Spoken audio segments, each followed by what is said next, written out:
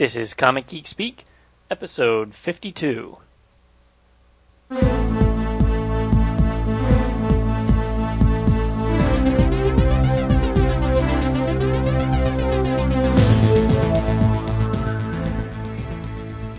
Welcome to Comic Geek Speak, brought to you in conjunction with WorldFamousComics.com.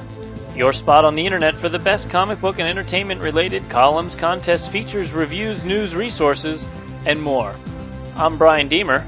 I'm Kevin Moyer. I'm Jamie D. I'm Peter Rios. We are sexy bitches, yeah. And welcome to another exciting episode of Comic Geek Speak. You know, we're two episodes away from 50. We might have to come up with something else for that sexy bitches. I don't know. I'm starting to, you know, starting to feel like we need something All right, else. well, We'll Mister, Mister, I have all the free time in the world. Not Find- to say that I'm not a, still a sexy bitch a- because I'm the sexiest bitch of all. but- yeah, right. Oh, Or the clips. bitchiest sexy, or whatever. I don't know. yeah, I need the mirrors out of the room. yeah. I don't know. I kind of feelings, you know, heading to 100. I can taste it. A hundred. We just got done with fifty, and he's already salivating over a hundred. At the rate we're going, we're, we're gonna It'll be we're like gonna three record weeks. 50, uh, 100 in like you know a week, two weeks from now. Well, we have another uh, exciting episode. Uh, we are about to pick up the phone and call Michael Lark, the newly announced artist on Daredevil, with, along with Ed Brubaker writing the book. And of course, that's very exciting for especially Kevin and I, as we are huge Daredevil fans. And, Michael- uh, I Mike- think Kevin just soiled his trousers. uh, That's why I, Yep. I wore two pair of shorts. We had Mike Norton, Michael Lark. Next week's Mike W. Barr. The week after that'll be Mike Baron. We're gonna just do all the Or mics. mics. All the mics. well, let's see if he uh, answers his phone. that would be a plus. wouldn't Yeah, it? that, Yeah. that'll shoot this Hopefully it episode won't- right to hell. Usually- Hopefully, it won't uh, stand us up. I've been a fan of this guy's art for a long time. Oh, it's ringing. One ringy dingy. What's that from? I don't remember. Laughing. Laughing. Was it? Lily Tomlin. Hello, Mike. Yeah. Hi, Mike. It's uh, Brian Deemer here at Comic Geek Speak. Yeah, hi. Welcome to the show. We're actually already recording. We're actually already recording. Yes, we, we Oh, even wow. we even recorded your phone ringing. Wow, that's great. Well, you know, your listeners will be thrilled to hear that the battery on my phone looks to be running low. So if I disappear, that's why. okay. we won't take it personally then. No, don't. um, well then, uh, let's ask the first question we always ask: Is how did you first get into comic books? Oh, wow. Um, you know, I was actually late in the in the comic books. Um, I didn't start reading them really until I was in college. When I was a kid, I had a few comic books here and there, but I, I never really got into them that much. And you know, part of it might have just been that my parents didn't buy me comics that often. But I know that part of it was also that I just I never really liked the art in comics. Um, you know, the first comic book that I remember buying that I actually liked the art in was the uh, the adaptation of Empire Strikes Back that was drawn by Al Williamson in around 1980. So, um, you know, and then after that, I started getting into them in, in college because there was the whole black and white boom of the 80s that kind of drew me in. Cool. Um, well, let's in in the in, in case we lose you, let's skip right to some really meaty questions here. Okay. Um, you've just been recently announced as the new artist on Daredevil, uh, and uh, um, in a previous interview, actually with an interview that you gave to Chris, our roving reporter in Chicago at the convention, uh, you mentioned that uh, Alex Maleev uh, was one of your favorite artists and an inspiration. Uh, in in what way does he inspire your work? Oh, I you know I get inspired by a lot of different artists, and you know there's different different reasons for you know every different book that I see. Alex, I just like I like seeing somebody who pushes boundaries with his own art. Uh, I like seeing somebody who um, who he's continuously challenging himself to try new things and. I mean, if you look at his entire run on the series, you can see, and especially if you look at all the things he's ever done, that he never really just settles down into one particular thing. Uh, he keeps trying new things. He keeps trying different ways to get the story across, and and really, he doesn't. He's not satisfied to just uh, churn out, you know, pale imitations of you know something that somebody was doing, you know, 15 years ago, which is a lot of I think unfortunately what we see on the shelves today. Yeah. Uh, as a follow up to that, how will how will your Daredevil depictions differ from Alex's? Now we've seen one, I guess, promotional piece where you you've drawn Daredevil kind of swinging through the skyline, and and at first glance, you know, to the untrained eye, you might say, "Oh, it's an Alex Daredevil," but then you realize that no, it's not. It's a it's a Michael Lark. So so how how are you going to differ from from Alex's drawing? Uh, well, you know, we have different styles, and we're, you know, he and I, and you know, there's a couple other people like Sean Phillips and Michael Gaydos, all kind of have a lot of the same influences, and we're into the same kinds of artists, and we like to do the same kinds of things with our art. So there are going to be similarities you know, I'm, I'm going to be going for the same kind of gritty realism that, that Alex goes for. Um, so, I mean, really, I just think that any differences you see are just going to be differences in the way that he and I draw more than anything. I also think that um, me and Ed, you know, would kind of like to bring a little bit more of kind of the, the widescreen action approach to the book. Um, Brian and, and Alex have been doing very personal stories, and I'm, I'm not knocking them at all because I love that book. It's one of the few comics I read every month um, and that I make a point of buying. But I think that Ed and I want to kind of get some more swashbuckling action in there and kind of combine that old school Daredevil with a little bit of what they've been doing, you know, a little bit of what Frank Miller did, and just kind of, you know, like Ed's done with Captain America, where he's taken kind of all the different approaches to Cap, and he's kind of tying them all together and making them all work together and making them all seem part of a unified whole. And I I'm expecting that he's going to do the same thing with Daredevil, and that that will give me a lot of room to stretch as an artist, to where it won't just be, um, you know, kind of the street level kind of um, realism that Alex shows with his stuff. I think that's one of the things that I've noticed um, when you did the "What If" uh, Karen Page had lived story um, that I was looking at uh, while I was reading that story and admiring your artwork on that story. That uh, your art had more of that dramatic feel to it, the more uh, dramatic style to it. Your storytelling was different, even though the your like again your art is similar to like Alex and, and Michael Gaydos and and it's interesting that you mentioned your your first influence on comics was Al Williamson because that was kind of a similar you know type of style as well as like John Romita Jr. and such, but. Uh, I think that's where I noticed the most is is that even though you have a similar style uh, that reflects what has been on the book for the past five years, there is dif- uh, definitely a difference, I think, in the the dramatism in your storytelling and such, and your and your characters as well. Yeah, I mean, I'm I'm definitely going to be coming more from know the David Mazzucchelli, Alex Maleev school of approaching Daredevil than say the Joe Quesada school. Um, you know, Joe Joe was doing a superhero book, and you know he he's great at that. He's amazing at that. I'm not. So, um, you know, it's gonna it, it's still gonna have that element of realism to it. I hope.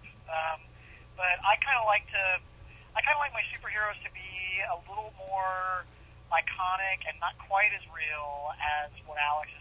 I I like them to be kind of separate from our our reality, from our day to day reality. That was one of the things that I I really enjoyed about working on Gotham Central was that you know I could have these real people that would come in contact with the Joker, and I mean how freaky would that be? If you came in contact with the Joker, I mean, you, you might see an Alex Ross painting of real people coming in contact with the Joker, and it looks like real people talking to a guy wearing makeup. And you know, my my approach, I wanted it to look like people talking to this guy who is this deformed freak, and um, you know, didn't want to make him cartoony deformed, but still, you know, kind of keep that same look that he would have, you know, if more cartoony artists were drawing him, and just kind of make it all work together. And that's what I'm looking forward to doing with Daredevil. I, you know, I want Kingpin to go back to being this, you know, this huge guy that, you know, looks like he probably couldn't even own weight, as opposed to Alex just kind of trimmed him down and made him look like just a big guy. You know, and once once again, there's nothing wrong with what Alex is doing. I think that he and Brian are doing, you know, just probably my favorite run on that series ever. Um, it's, I just think that you know, I, I like to take some of the older stuff that went on with it and not necessarily throw it out the window and see if we can incorporate it into what we're doing. It sounds like um, for those few people out there who, during the Bendis run on Daredevil, have said you know things like they wish there was more action, they wish there was some more superheroes, he- superheroics going on. It sounds like we're we're going to get a little a little more of that. Not that that's the main focus. Um, is uh, as you say, you know, making him a little more swashbuckling. Um, so I, that sounds like it's going to appeal to those people who might have had those little critiques about the Bendis run. Well, once again, I think you know I'm so lucky that I'm going to be working with Ed, um, with Brubaker. He's you know he's shown you know Ed just amazes me. He's you know if not he's he's definitely one of the best writers in comics. You know if not in my opinion the best. And he's shown that he can work in almost any genre and do it well. And Captain America especially has shown that he can he can step in with these you know these guys who have had these long lives and so many different interpretations of them, and kind of make them all work together in a story that can appeal to all the different fans. It, it's kind of like what Bruce Timm did with the uh, the first Batman animated series, where he took all the different ideas of Batman and made them work together as one. And I think Ed's really kind of brought the same sensibility to Captain America, and and I really I I from what he's told me so far of what he wants to do with the first year or two of, of, of our run on Daredevil, it's going to be kind of the same the same approach. It's not going to be the same book as Captain America by any stretch of the imagination, but that same kind of okay, let's take all these loose ends and tie them all together. We've got we've got several different ideas for little little things that have been dropped here and there in the past of the series that have never necessarily been completely resolved that we're gonna we're gonna address, you know, in our first two years. Um, and that you know that's going to include the Bendis run. There's there's been things on the Bendis Maleev run that um, that we're gonna you know we're gonna bring back and, and tie up together and things like that. So it, I think we're going to appeal to all the fans. I, I really hope that the Bendis fans will stick with us, and that you know the people who for whatever reason have been poo-pooing his stuff are gonna gonna come back too. I mean, for myself, I can speak. excuse me, and and and reflect that I feel, you know, to, especially listening to you now and what I've heard since uh, the announcement has been made, that you are taking the next step. You're adding on. You're you're you know you're stepping to the next level as far as from what Bendis and Maleev have done. You know, you're not you're not doing a uh, an exact duplication or trying to mimic what they have done. You're taking it to what you know your art is doing what you feel is important and strong with the character as well as uh, Brubaker's style of, like you said, tying together uh, lots of continuity and still keeping it exciting and fresh and adding to that. And that really enthuses me about your run with Brubaker on this book. I mean, and Mazzucchelli was always one of my favorite Daredevil artists, and I think his realistic style is what really drew, drew me in. So I can see that reflection in your style as well. And, and if that's where your um, intention is set for that, then I am definitely uh, more so enthused to, to see your run begin. Yeah, we're really we're really excited about it. I think you know, and, what you say is is true. I mean, it also though, I mean, our our first story arc is gonna is gonna pick up um, from a cliffhanger that Bendis is gonna leave us. Um, he he had been wanting to do this particular cliffhanger and was thinking in his own mind when he knew he was to quit, he was thinking, "Oh, I can't do that to the next writer. You know, that would be terrible. I, you know, that no writer would want to be stuck with that." And so he kind of put it out of his head. And Ed and I had been talking about some ideas, and um, we had actually decided maybe we were going to do the exact same thing to him, like further on in our run in the series. And Ed was telling Brian about it, and so you know Brian thought about it and called Ed back a, a couple days later, and he was like, you know, I'd kind of been thinking the same thing. What if we did this? And um, so it's gonna take it's gonna pick up from where they left off, but it's not gonna. We're not interested in imitating Alex and Brian. I they're friends of ours, and we both love their work. But you know, we we've been wanting to work on Daredevil together since before Brian and Alex were working on it. So this is this is not about okay, we're going to be the next Brian and Alex. This is you know, we both love Daredevil, and we want to do our take on Daredevil. Great. Now, is this something you had to lobby to get for this job, or was this something that was offered to you? You know, um, I think that Quesada had to lobby to get me to do it. I think Joe wanted me to do it, and Brian also had been. You know, Brian and I have known each other since we started out in Caliber uh, back in the late '80s, early '90s, um, and we've always wanted to work together. And Brian, I think, had been kind of lobbying for me to do it, and Joe had noticed my work in the past, and in fact, they had talked to me several years ago about possibly, um, you know, helping out a little bit doing fill-ins here and there on the book, but I had just started on Gotham Central and couldn't do it.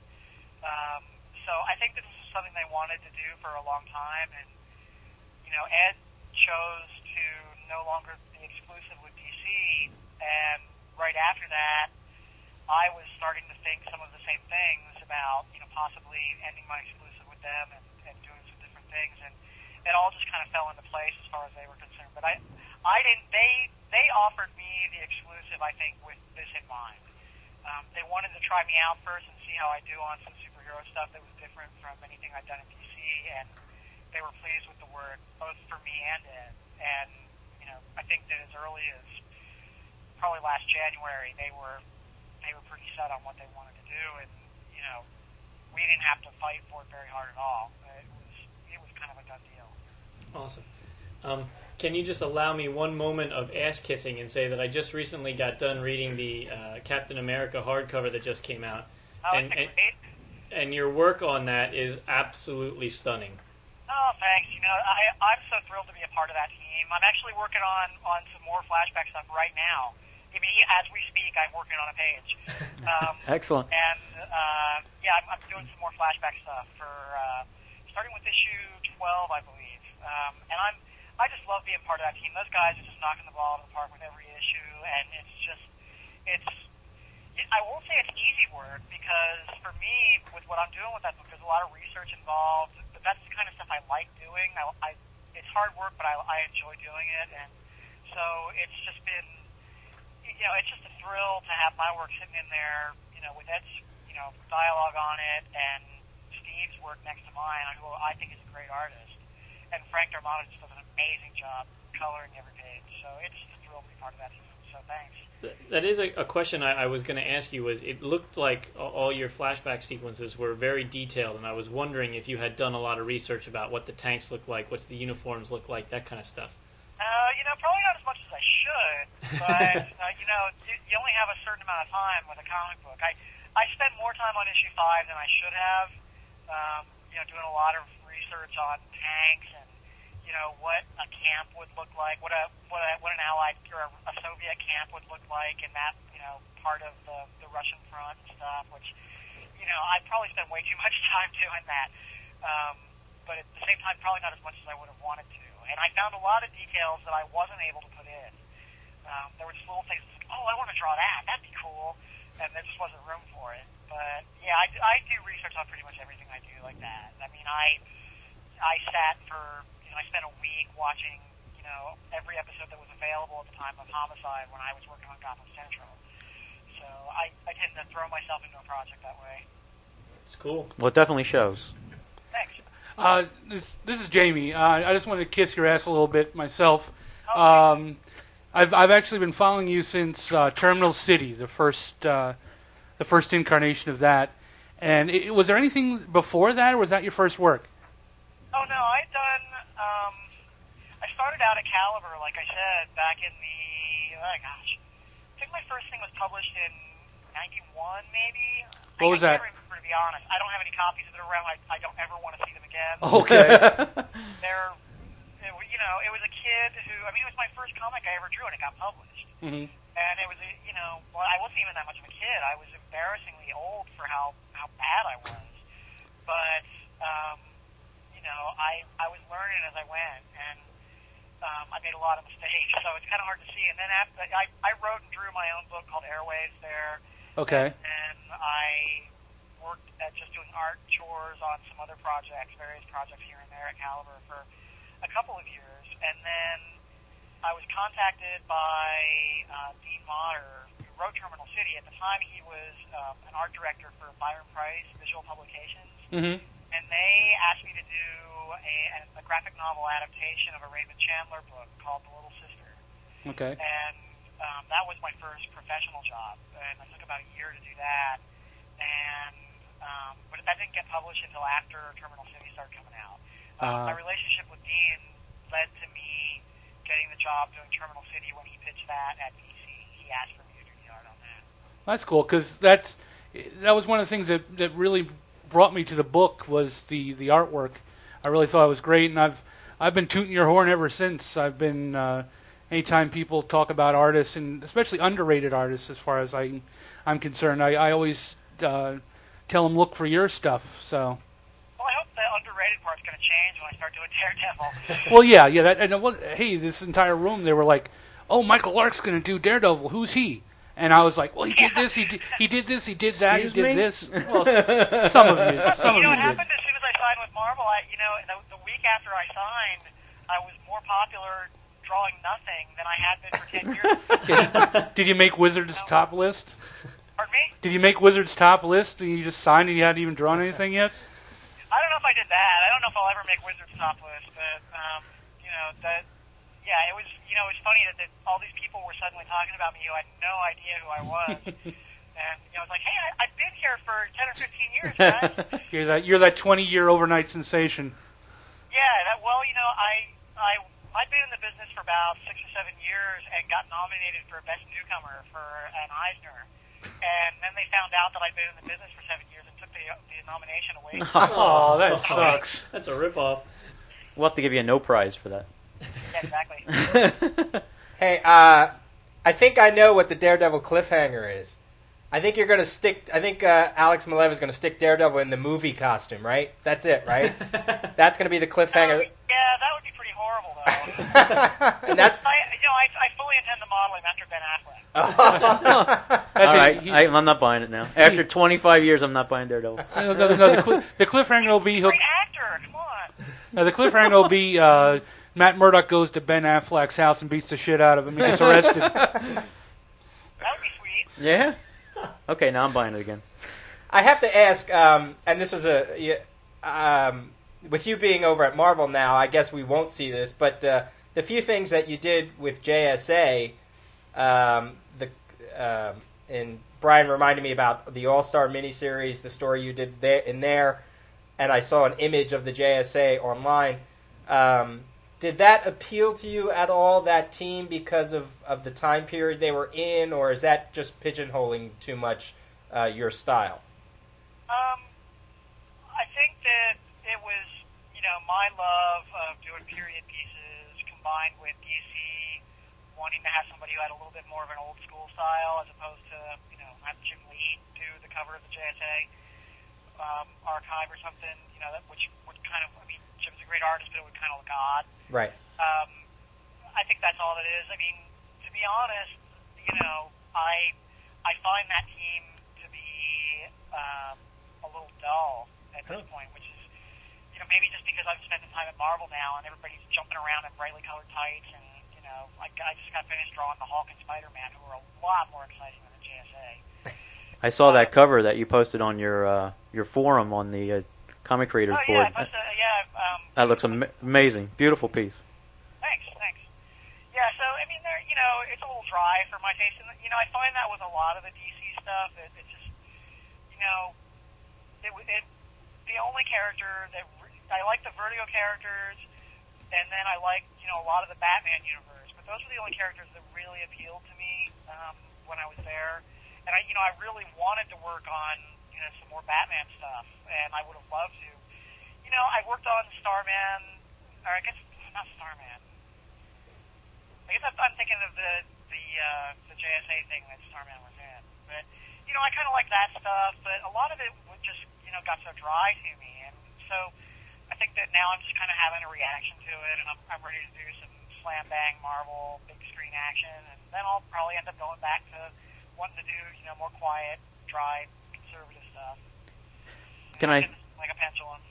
Can I plant a seed in you with the fact that with what after seeing your your flashback pieces in Captain America, I remember years ago they put out a second Captain America title called Sentinel Liberty, which was supposedly intended to be a collection of stories of Captain America from his World War II days. And I was so looking forward to reading that book, and of course, when it came out, it was totally not what it was intended to be, and of course, ultimately failed. But would that be something you would be interested in doing if they would approach doing a title like that? Well, um, I mean, first of all, when Ed approached me about helping out on Captain America, well, first when they told when Ed told me he was writing Captain America, I thought, what? You know, the guy who wrote Low Life is going to be writing Captain America. and How's that going to work? Um, and then when I saw what he was doing, I really liked it. And then when he approached me to help out on it, um, I said I will. I'd be happy to draw Captain America as long as it's World War II stuff. Uh, I just couldn't imagine myself doing the kind of stuff that Steve Epting is doing. Um, I, I just I love that World War II stuff. I, I love doing it. I love the period. I like those guys with their pants pulled up higher than their navels.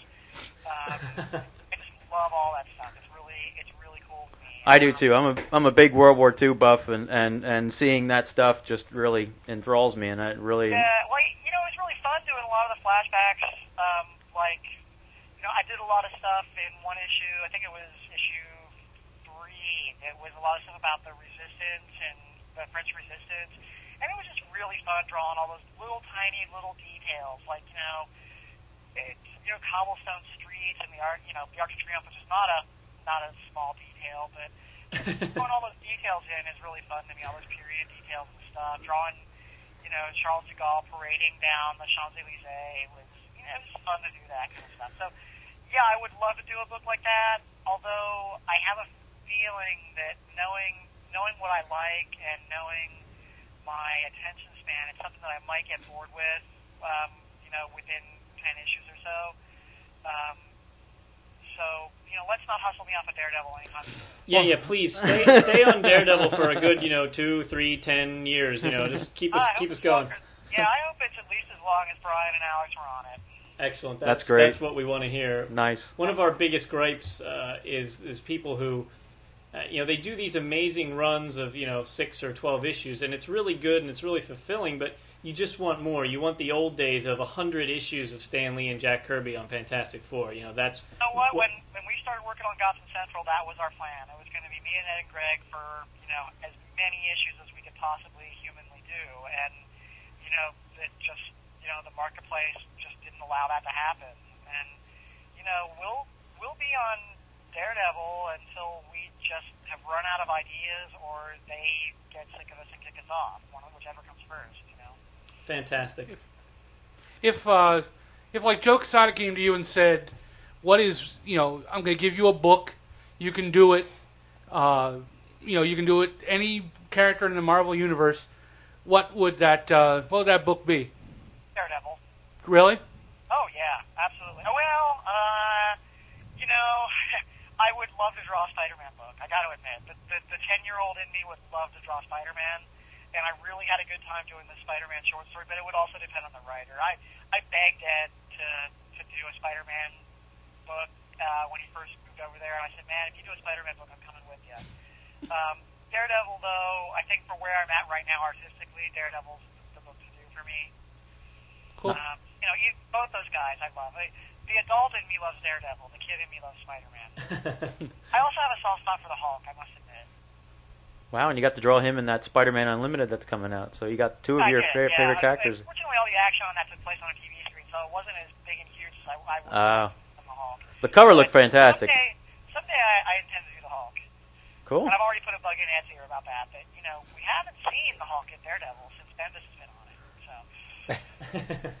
You did the inking in Terminal City. Did you do the ink your own inking in um, in the Captain America flashback stuff?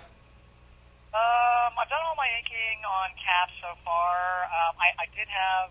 Um, I've had some people helping me out here and there. Well, mostly Stefano Gaudiano has helped me out here and there, just like in the last half of the Gotham Central run, because I had to keep up with the monthly schedule on that. And um, he helped me out on an issue of the Pulse, and he even assisted me a little bit, uh, just as an assistant on the Spider-Man story.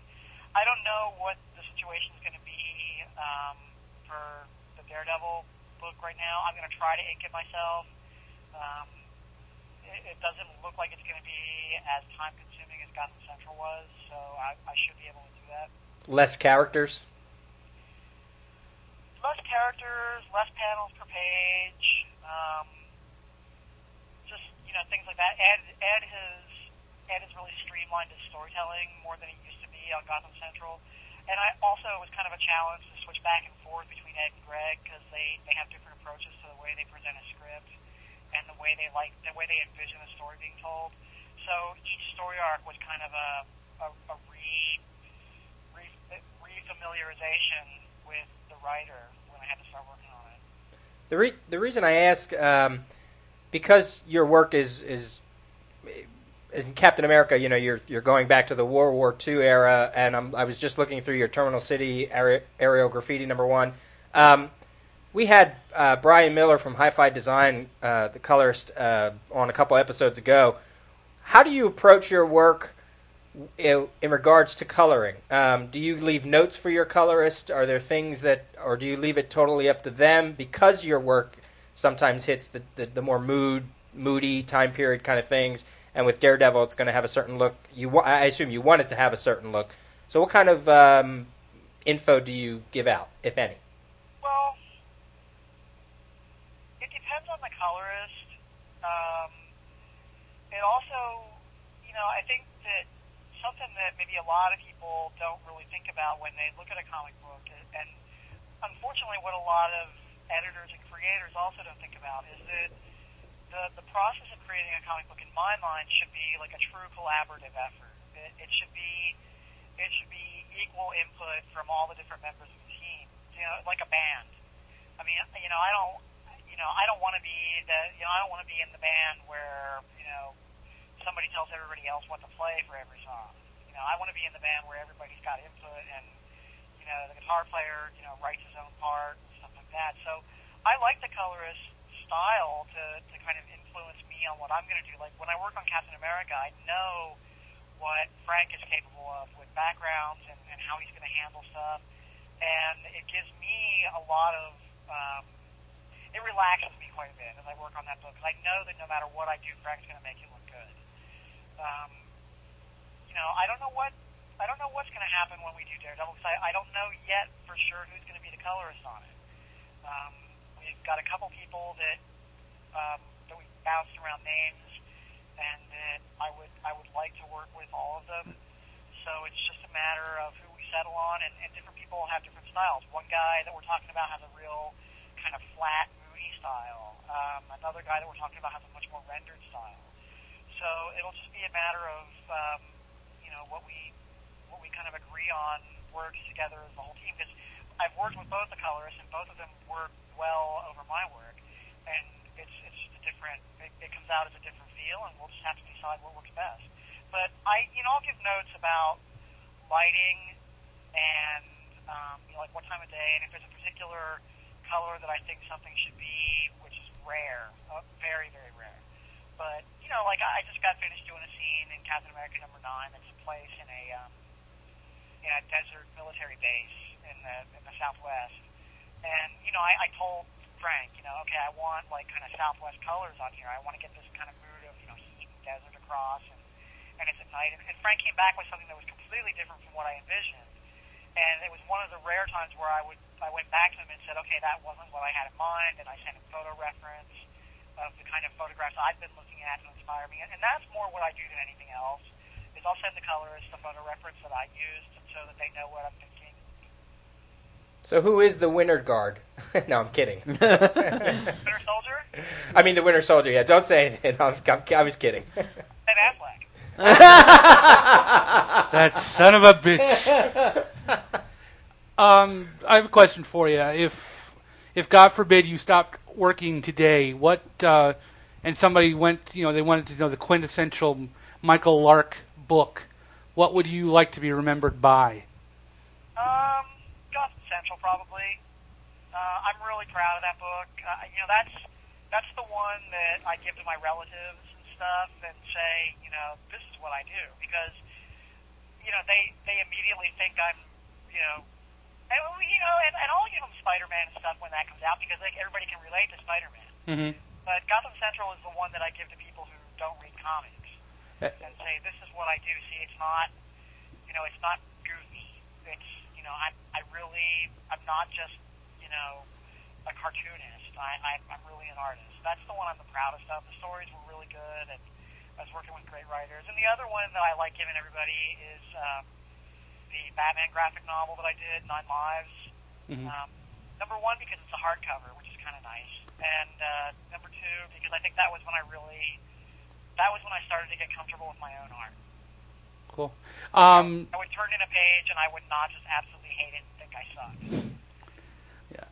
the art, the artist lament that we hear all the time when they, when you give a great piece of artwork and they're not satisfied with it. Uh, I- you know what? That's going to happen every time because you can't you can't do what you see in your head. Mhm. But you know you have to start being realistic about it. And, and the, the way I kind of approach it is like, you know, a Hall of Fame hitter in baseball is you know getting a hit every you know three out of ten times at bat. Yep. And um, so you know if I like you know three you know if I like two out of six panels on a page that I think are pretty good, then I'm Hall of Fame material. You know, if you know if I like you know one panel out of every six, then you know I'm I'm still in the majors, but I'm probably you know warming the bench, so I can live with that. You know, it's, it's funny you had you had made mention that um, you had watched a lot of you had thrown when you were throwing yourself into Gotham Central, you had watched a lot of Homicide: Life on the Street, which is one of my favorite shows of all time. Oh yeah. And when I started reading and picking up Gotham Central, I came in a little late on it. But when I first started reading it, I was like, "Damn, this guy was watching Homicide." Because you had the, you know, you're right. You can you can put it to the writer too, but the artwork had the pacing of that show, um, and I thought I thought it was great. And that's been a book that I've been, uh, you know, singing the heralds of and trying to get people to read that one too. Um, yeah, I, well, I love. unfortunately, it's really hard to find. DC has been really dragging their feet on putting out the trade paperbacks, which is kind of, kind of one of the one of the factors that that led to you know led to the creative team's demise was just you know, I think that that worked against us in a big way, and and what you mentioned about stylistically, that was really intentional. If, if you look at the book closely, um, you know, once I once I kind of hit my stride on the art, which was probably about the time we started the half a life story arc. Mhm. You'll notice that um, I was using a really regimented uh, panel size and a really regimented grid on the page. That was pretty much um, the individual panels were pretty much the same proportions as the TV screen. You know, I might do a wide pan every now and then, or a vertical pan Mhm. every now and then, but it was still like it was like a storyboard more than anything else, and that was very intentional on my part. Yeah. And you know, it was also the Alex Toth influence, where you know he he did some stuff like that as he was coming out of animation and did some stories that were pretty much just storyboards, mm-hmm. like the famous Cord story. It's just a storyboard, and that was really in my in my head as I was working on Gotham Central. Cool. Um, just to jump back with something you said, and also I read an article in it where you mentioned it too. The whole um, putting out trades and trades versus singles. Um, we that's always like a running discussion every other episode on this on this show. Um, care to throw in your thoughts?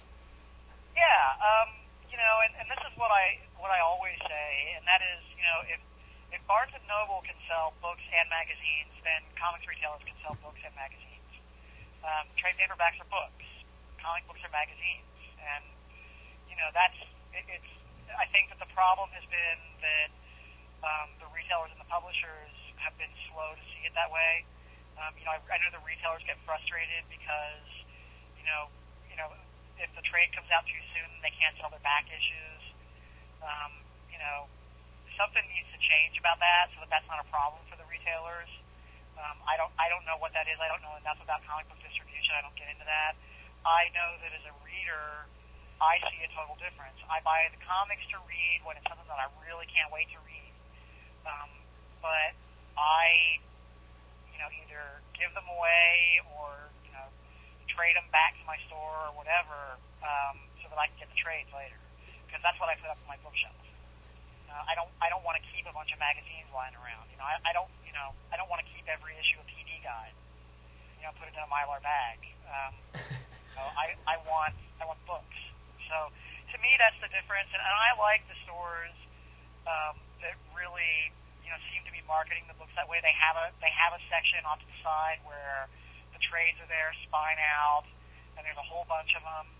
Um, and then on the other side of the store, they've got their magazine racks filled with comic books. I mean, that's that to me is the way it should be. And I, I can't, I can see that they can both live side by side. And I think it's just going to be some stretching on the part of some of the people are the most affected by the financial decisions with that. And I know that's hard for them. And I'm not saying that they're wrong for the way they're doing it. I'm just saying that it, I think that if this life, if this industry is going to have life, that's going to have to happen. Because I mean, I don't know for sure sales figures, but hasn't it been lately that a lot of times the the growth in the trade paperback sales is is, is stronger than the growth in the in the single issue sales, um, just in general in the industry. I think that's the case. It saved books. I mean, there's a couple Marvel books that have been saved by the uh, by their uh, trade paperback sales. Pardon me? Sent, well, Sentinel just recently, uh, there have been a couple books that Marvel has put out that their digest sales. The Runaway was one and two. Their digest sales were so good, or their paperback sales were so good that they're now doing, you know, uh, another volume of them. So yeah, that that is. You know, I mean, a book like A Hundred Bullets, um, you know, didn't didn't knock everybody's socks off uh, sales wise until it started coming out as trades. And um, and you know, look at the life of you know a series like Sandman in trade form. You know, Yeah. it just it, people just keep buying them, and you can do that with the trades. And I just think that you know it's a matter of looking at the big picture and saying, okay, we can put these books out on the shelves, and they they will be out there for as long as we can keep printing them.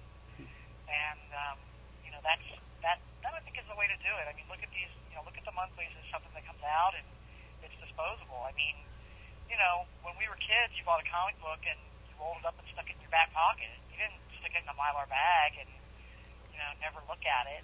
Of course I did. What are you talking about? Okay, you know, uh, you know what? When I was a kid, and I'm a Yeah. person, so Yes, we're I- there's some older older ones in here. Yes. I had a guy come up to me at one of my first cons that I was selling stuff at, and he bought one of my books, and then he said to me very proudly, he said, "I'm not even going to read it," and slipped it into the mylar bag, and I was like, "What?" You know, I worked my ass off on that. You know, I could have just filled it with blank pages and put a cover on it, and you still bought it, stuck it in your little bag, and you wouldn't have known the difference. You should you should have taken I a work, I work hard on those. I want people to read them. That's the Right. point of them. Right. You know, I I, see don't th- want you to just save it somewhere and never look at it. I mean, you know, I treat my comic books terribly. People people who collect comics would probably be appalled at the way I treat comics. I buy old Alex Toth comics. I love them, and um, I um, I pull the staples out and cut the pages apart and stick them into notebooks. A few of us are cringing. And you know, I, I just I look at people like on eBay that are selling these post comics that are like encased in these blocks of lucite, and you know, it's like it doesn't even have Alex Toth on the cover. It's like a photo cover, and they're selling them for like seventy five dollars. I'm like, why would I want that? Why would I want a block of lucite with a photo in it? You know, I want to look at Alex Toth's art. I want to thumb through it. I want to study what he's doing, and I want to look at how great Alex Toth was. I don't want to. I don't want to. It's not an investment. If I want to invest in something, I'll invest in stocks. no, that'll that'll actually pay off in the end for sure. Um, to go back to the trade thing, um, although and you didn't say any of this, but this this comes up every now and then where um, they say that the the complete move from singles to trades is where some people think the industry is going to go. As an artist, I can't imagine that's something that you would want to happen. Whereas instead of doing 23 pages, you got to now pump out 100 and some pages. And not that that's ever going to happen, but uh, what's your what do you feel about that? Yeah, I feel it's never going to happen too. It's kind of like you know, I, I forget who said it now. I, the name escapes me, but the guy who said you know about in 19 '63 said, "Oh, guitar music is out. You know, there's not going to be any guitar bands anymore." That's that's silly.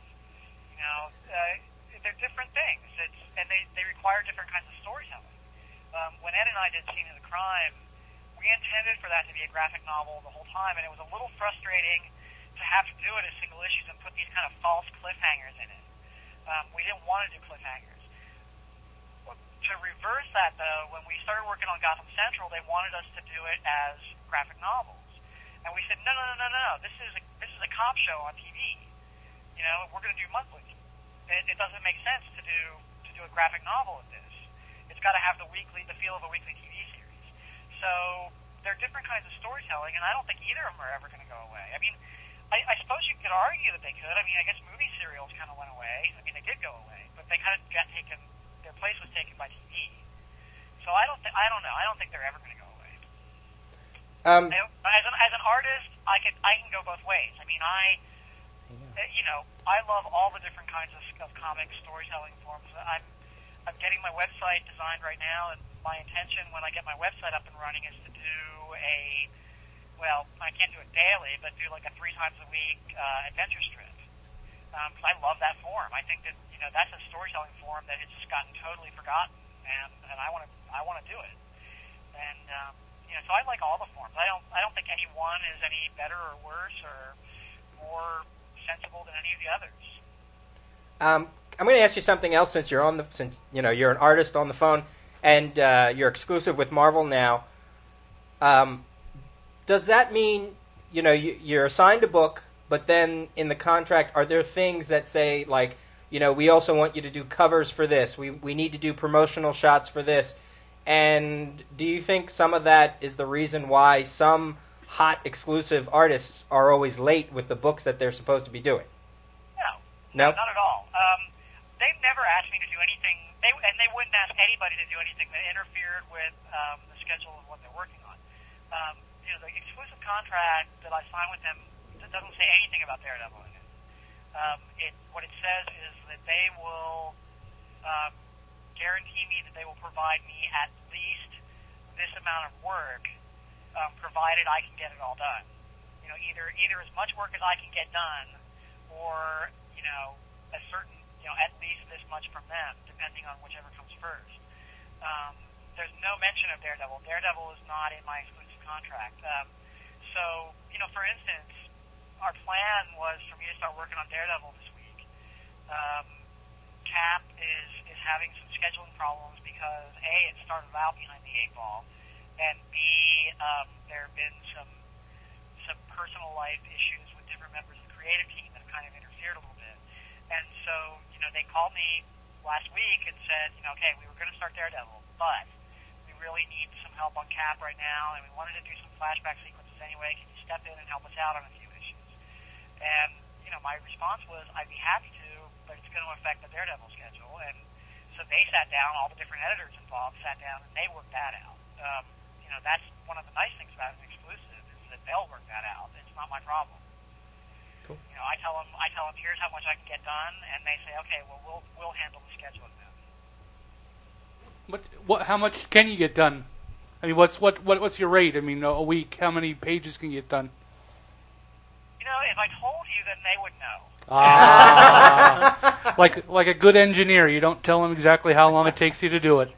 Oh no, yeah, you know, they they just had me do a rush job that I did really quick, and I'm a little nervous about it now because um, I worked some crazy hours getting it done, and I don't intend to work those kind of crazy hours uh, the entire time I'm working on Daredevil, and I'm afraid they're going to expect that of me.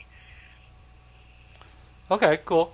Yeah, you just did what 11 pages in, in like a short time span. I thought I saw that on the message board that you made. Um, a little over a week, yeah. Yeah. Wow. Which is fast for me, um, just because I, I had to pencil and ink it, and that was from that was from the point of me having a script that was um, that I I mean that was I had I had somebody helping me out with the breakdowns. I had a friend that helped me out a little bit with the breakdowns, and then um, I shoot photo reference for everything. And when I shot the photo reference, it kind of um, forced me to change some of the some of the breakdowns a little bit. And um, so from from the time I began shooting the photo reference until the time I finished was about a week. And you know, I I think I'm lucky if I can do a monthly, if I can pencil and ink a monthly every month. So that was that was twice as fast as I think I'm lucky to do. So Okay, I, I, try to- I try to average a page a day. yeah, that's that's probably a industry ballpark that people probably sh- shoot So for. put out 22 pages a month, and there's there's usually about 22 work days in every month. So Yeah. Well, Mike, uh, I think we have uh, exhausted our questions. Uh, is there anything uh, you want to throw out there? Anything you want to plug? you know, I we already have. Yeah, it's just Daredevil. I really wanted to talk about Daredevil. I haven't had a chance to talk about it yet. So um, this is this is great. I mean, that's that's all. That's all that's out there. I mean, you know, when the website's up and running, come visit it. But I don't even know what the URL is going to be yet. So So, but I'll, but I'll have an adventure strip on there when uh, when it comes up. So Great. Well, I really look forward to that. Send send me an email when you when you uh, have that up so we can tell our audience. yeah, and I'll, I'll post it on my forum on the Bendis board. And yeah, come by the forum on the Bendis board and we'll talk shop. We've been doing that. It's fun. Yeah, I've been posting since I saw that you had your thread up. I saw when you were posting on Maleev's uh, thread, and then I saw you got your own when they when they. Uh, You know, I, yeah, and I'm gonna have a hard time giving up Alex's because there's nothing I enjoy more than getting on Alex's thread and giving him a hard time. So. being on the King of Ass board, you got to admit. Huh? Say that on podcast. I wasn't even sure. Sure, you Sure, can. There's- absolutely. There's, no FCC here. You can say whatever the hell you want. Well, you know, because Brubaker was on Fanboy Radio this weekend, and they almost they almost pulled the plug on him because uh, he couldn't he could not stop saying shit. Well, well, they're actually, uh, you know, they actually broadcast on the airwaves and then Right. later record it and release it as a podcast. We're just a podcast, so we can we can say anything. Tell Brubaker he can say whatever he wants on our show. He can All say right, shit every word I'm he sure wants. He. That'd be great. Hey, can you bring back Madcap in Daredevil? I'd love you for it. Even in the background. don't know what Madcap is. Thank a- you, thank you. God bless you, Mike. We are gonna, what was what was Matt Murdock's fictional twin brother's name? We are Mike Murdock. back. That was Mike Murdock. Yeah, Yeah. we're bringing back Mike. Oh, get out! He's gonna have that snappy pattern. oh, great. Yeah. Oh, wow. All right. Well, thank you very much for, for the interview, and uh, we wish you the best of luck, and we really, really look forward to uh, Daredevil. Yep. Thanks, guys. It was fun. So when are we gonna see this? Uh, this will be out uh, a week from today. A week? A whole week? Yeah. yeah. Okay. Well, send me an email when it comes out so I can tell friends stuff. Well, you know what? I'll, I'll send you an email, and you'll have it sooner. How about that? Well, that sounds great 'cause I, I know a lot of like family members and stuff like that um, went by the site and listened to the one from Chicago. So I had to warn them about the bathroom interview. Uh, so yeah, I'd love to. I'd love to know about it. Oh, oh, and that reminds me that, that Chris, uh, the guy who did the interview in Chicago, uh, s- says hello. Okay, cool.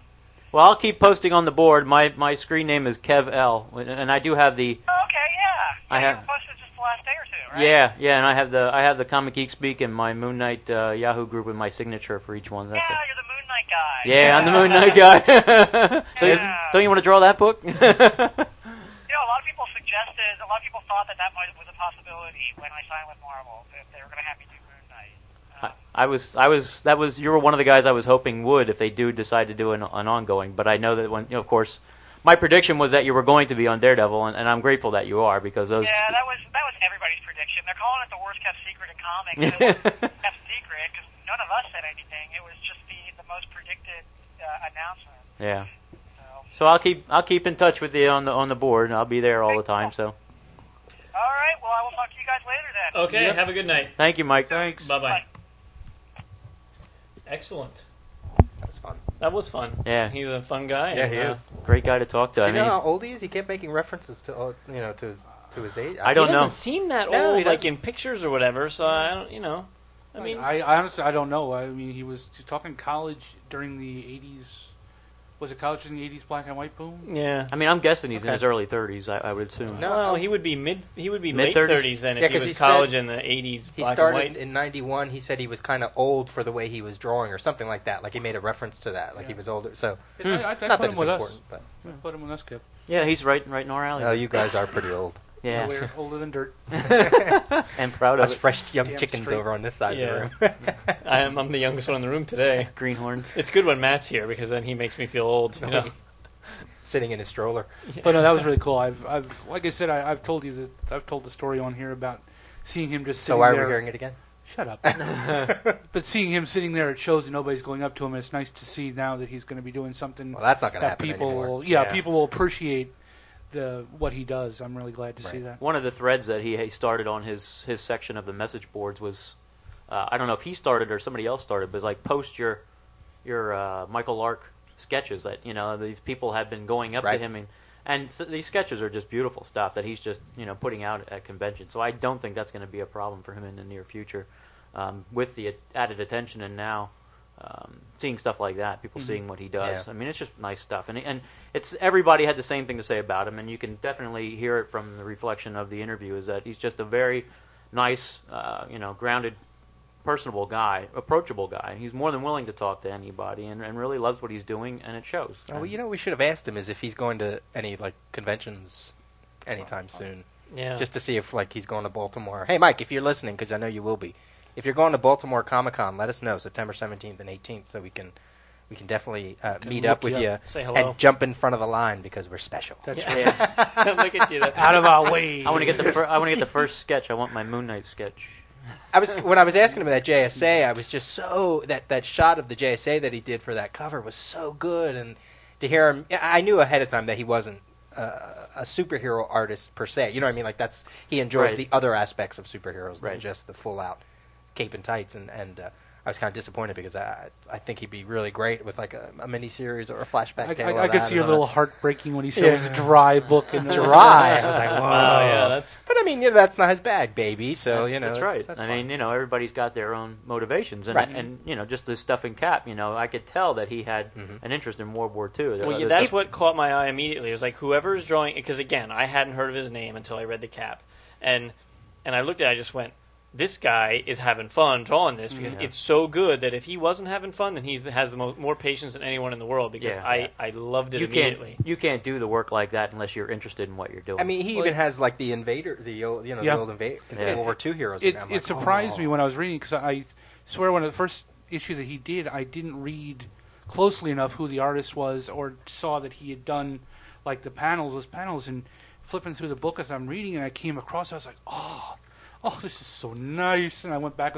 Yeah, it is him. And I went back and started reading more. And oh, Because I mean, I watch all of the the, the stuff on the History Channel and, and Discovery Channel on World War II. Anytime something's on there, I catch it. And and watching all that stuff and seeing those panels in that book, that's exactly what it's like. I mean, you know, it's it's like watch, Yeah. it's like watching Band of Brothers. You know what I mean? right, exactly. or, or you know, um, It's very Saving Private Ryan, Yeah. busted out. even though it's and all new, it's all that feel and all that look and, and very detail oriented. Like he said about, you know, I- maybe I spend too much time and stuff, but the detail shows and it makes the difference. It makes it that much more realistic and and uh, and I don't know if that's you know it seems like that's kind of an approach he puts toward, towards these Right. his things that he likes the realistic look, um, which is something that I like. So it's a really enjoyable. I me. am I am very very excited to hear them say that uh, they're going to have some fun with Daredevil and a Yeah. little you know bring Yeah. the superhero back. I mean, I again I'm one of the biggest fans of the Bendis run, and and I and I love Bendis's pacing. And if he wrote Daredevil for another 20 years, I wouldn't get tired of it.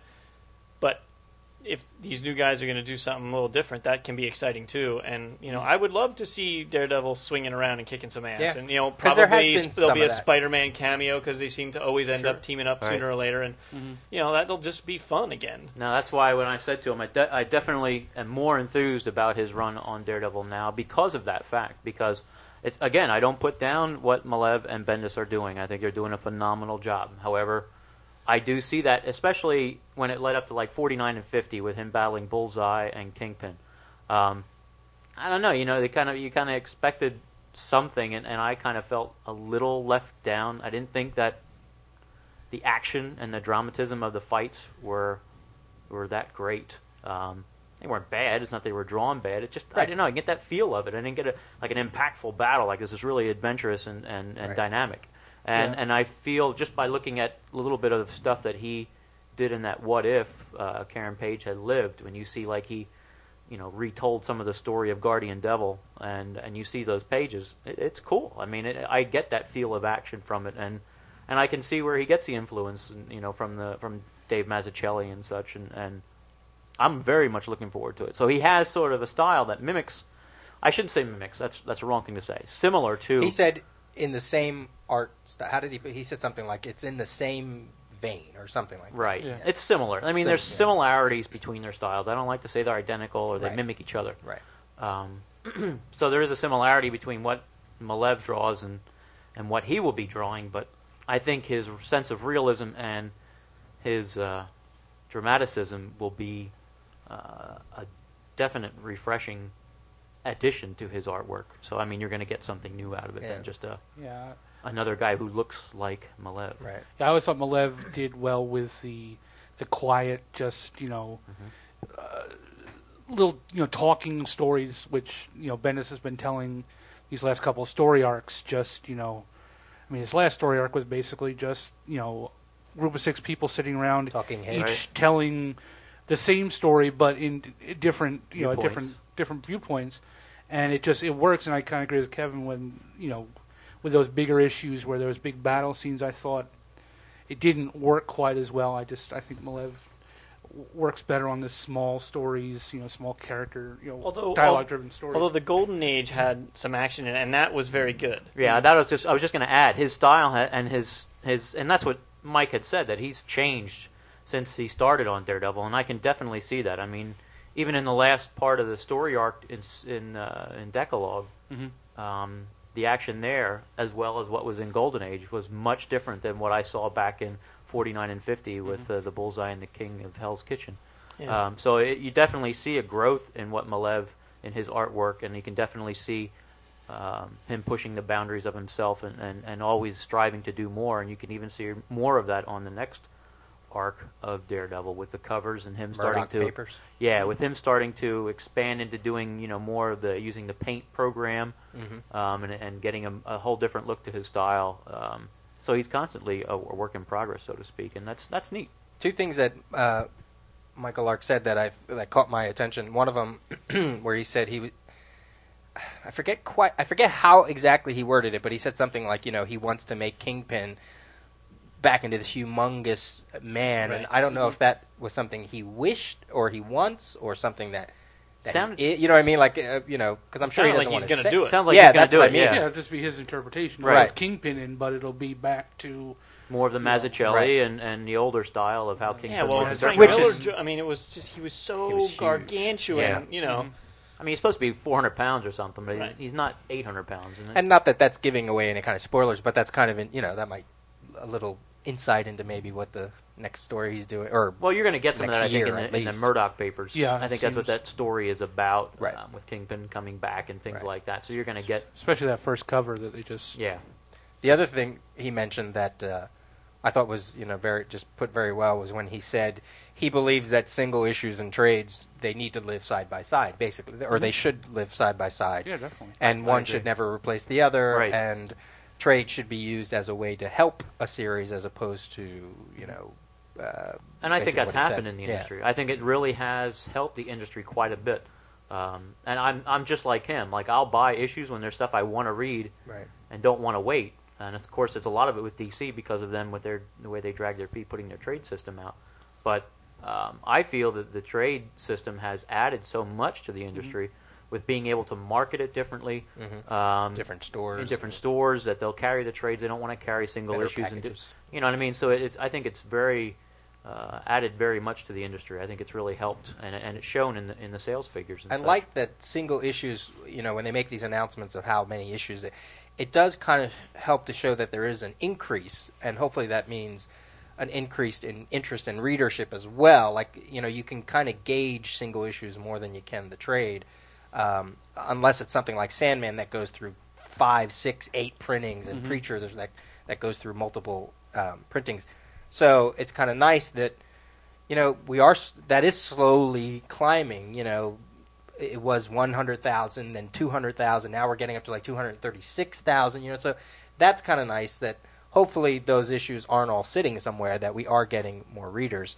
Um, but he's definitely right in saying that the trade, the market share in the trade, is the money is, is it's you know it's getting bigger every every month, and so are issues, especially during this time. I mean, both companies are Yeah. are experiencing a jump in in market share. Well, and- if you and- just if you just look at the numbers, and you know that in the 40s, and I- Ugh. maybe even into the 50s, where there were you know, tens of millions of copies of, of some of some uh, issues being sold, and the population in the United States was much less than it is now. right, So if you do the math, you know the potential is there. I mean, obviously, TV and movies have replaced a lot of the time that people spent reading and the Video internet and games. video Video games, games. yeah. but but you know, and maybe we won't ever see anything selling 10 million copies again, which is fine. But if we could see consistent 500,000 numbers on you know your Yeah. top 20 or Yeah. 30 books, well, that would be awesome. yeah, And so it's there, and it can be done if they just Mm-hmm. keep the Right. machine rolling and, and keep improving. And you know,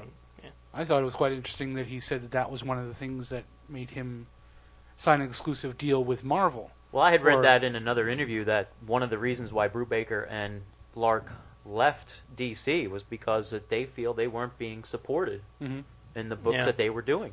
So And- that and- you know, and I can understand that. You know, if you're if you're putting your, your heart and soul into something and and you don't see the company promoting it and, and and supporting it, well then you know what's the sense? There's Yeah, also he's- money in trades. Yeah, and he, he's right. I mean, uh, I think they're missing out. I really yeah, do. Go- Gotham Central has one trade out, as far as I know. I could be Hmm. wrong on that. They could have come out with a second one s- most re- recently, but still, there was only one trade out for the longest time, and you know that's that's a book that if they want the people to get on it, they've got to bring out more than one trade. Um, It, it's like TV and and and uh, syndication. They they make money on you know the creators themselves get royalties from trade. So I can I can the- certainly see if somebody hands you a contract and you know Marvel's going to be put out putting out those Daredevil Oh, trades bet. in hardcovers and soft covers. So he's there's added money in that as well. it's like So or, or, or yeah. DVD. You were talking about you know TV with Right. syndication or Right. DVD Right. deal. You know, they bring them all out in a DVD, and suddenly, I mean, Family Guy.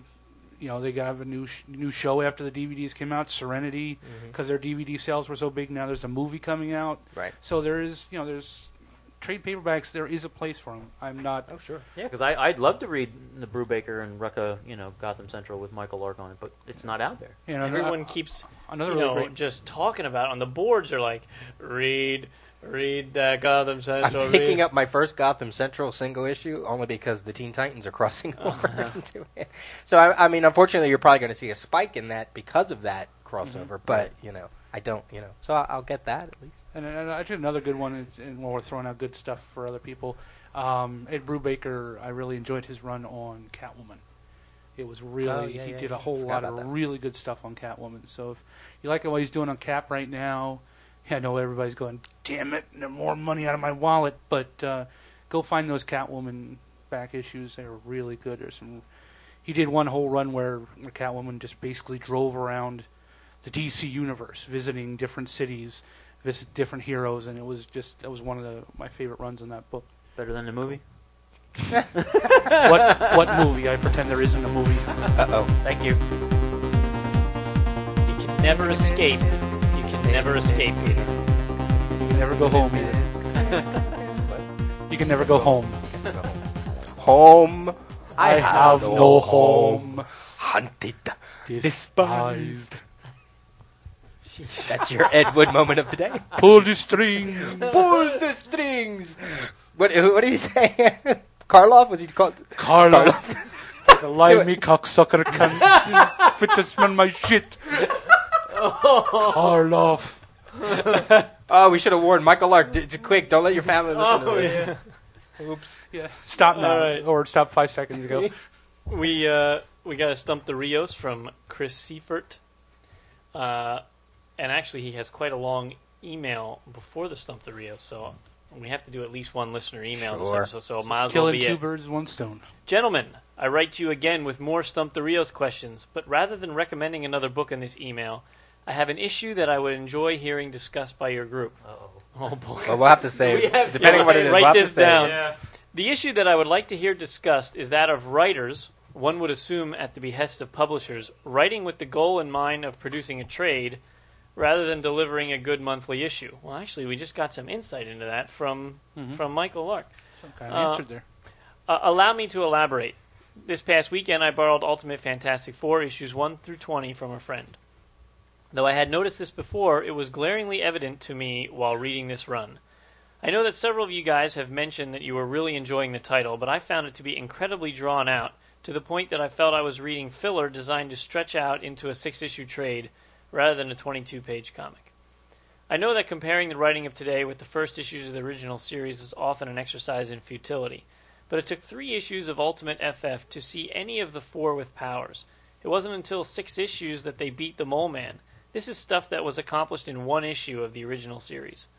With each Ultimate title, I have enjoyed the twist that they put on well established characters, making them new again. But how can it possibly take six issues to tell the Doom storyline, where all that happens is Doom sends robotic bugs to the Baxter building and the FF fly to Copenhagen to confront him? Six issues. That took nearly an entire issue just discussing. They took and they took nearly an entire issue just discussing the Fantasticar. At the start of the End Zone storyline, there were six pages in a row of basically nothing but splash pages showing the shuttle and the gate that would produce the the hole to the end zone. No dialogue, no writing, just five pictures on six pages. While the pictures looked cool, it just screamed of filling pages with pinups because there isn't enough real material. Anyway, I've noticed this in other books, recent issues of Daredevil, Ultimate X Men, and so on. I turn the last page of the book and think to myself, what exactly happened in the 20 plus, page, 20 plus pages that I just read? Am I merely remembering the old 80s and 90s days more fondly than they deserve? It just seems that the classic three stage story arc has been stretched to fit more issues without adding anything to the story. Well, we'll we will go back to that. Yeah, and yeah. we've you know okay. And so he's certainly given his side of it. So yeah. Now on to Stump the Rios. Question number one. Jigsaw, one of the Punisher's arch enemies, is so known because the Punisher threw him face first through a glass window, thus leaving his face looking like a jigsaw puzzle. Years later, he had plastic surgery that completely fixed his face. In the same issue, while the Punisher was fighting with Batman, Jigsaw's face was shredded once again. This time, who was responsible?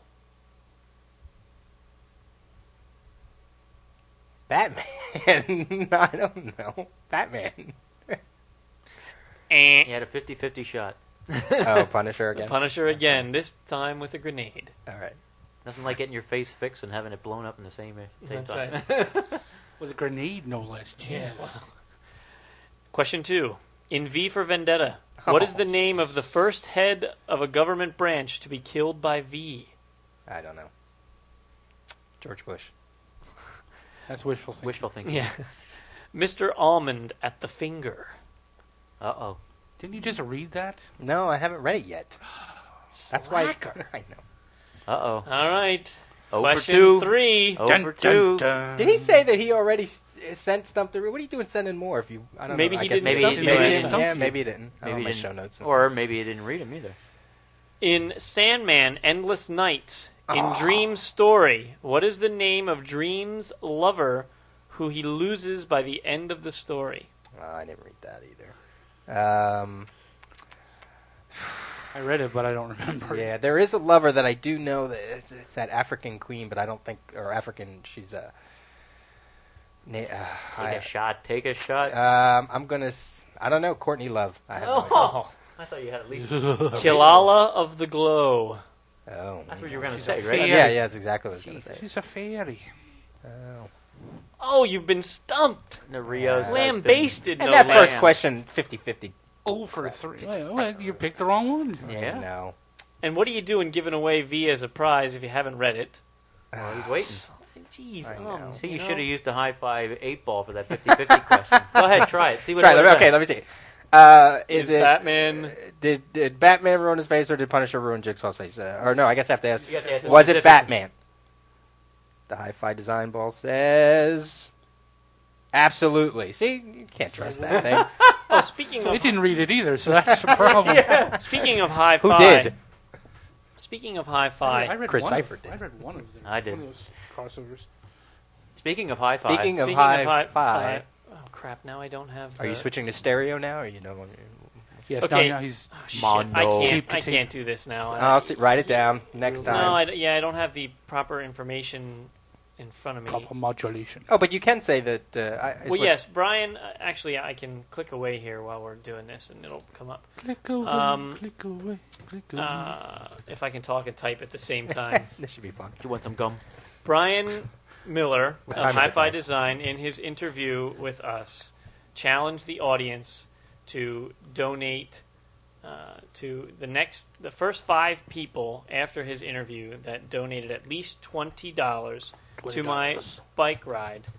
Would uh, he would send a whole bunch of uh, Hi-Fi stuff to swag. some some signed Swag. comics, some swag, whatever. And uh, within 24 hours of that episode airing, more than five people uh, sent in at least $20 Oh, donations, alright, so cool. uh, it, which is just awesome. And Oh, shit. So there are a few people that we need. There are three people who we need to get uh, their addresses. You need to email us uh, your address so that he can send you out your stuff. So the people I need here are the address for Sean Anderson, James McNally, and Bradley Schwartz. If you are listening, please send your mailing address to comicgeekspeak at gmail.com and I will forward that off to Brian and then he can send you your stuff. And I really appreciate it. My goal has been topped. I'm now over a thousand dollars. I think I'm at a thousand thirty dollars. People just keep donating.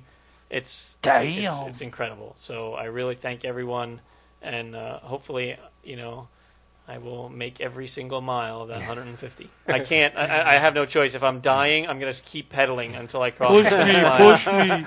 Make 'Cause sure you teach me how to uh, start this whole garage band thing before you do it, just in case if you do die. if I keel over from exhaustion. So, so send me again.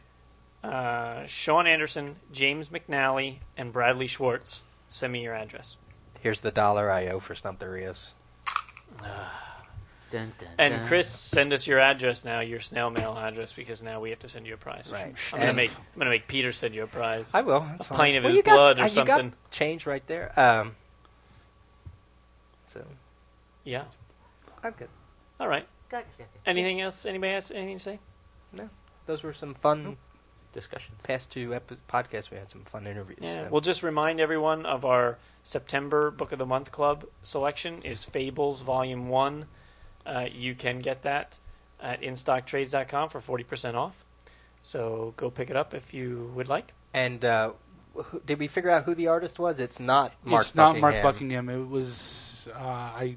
We Oh, looked now at it after, and I can honestly cannot remember it. But it was Right. not Mark, Mark Buckingham. But it's still definitely worth picking up, Yes. even if you're a Mark Yes. Buckingham fan. Because then you'll want to read it, and then you want to read the ones he actually did, because he has done some since. Cool. Excellent. All right, everyone. I uh, I'm I'm sitting here going, yeah, that's nice. Show's he's over." yawning. And I'm- Are we, Yeah, are we not boring even. you? He's the man at the board with the controls. What do I do now? I need to cue up the music. Land the silly, plane. silly me. If you would like to send us an email, send it to comicgeekspeak at gmail.com. And please visit our blog at comicgeekspeak.blogspot.com. If you would like to hear about other comic podcasts, you can check them out at comicspodcast.com. Uh, big thanks to Bob at GameCircuit.net for hosting all of the show, all of the files. Please vote for us at Podcast Alley and subscribe to us using iTunes.